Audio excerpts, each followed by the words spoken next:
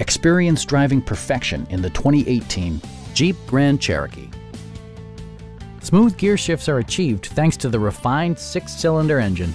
And for added security, Dynamic Stability Control supplements the drivetrain.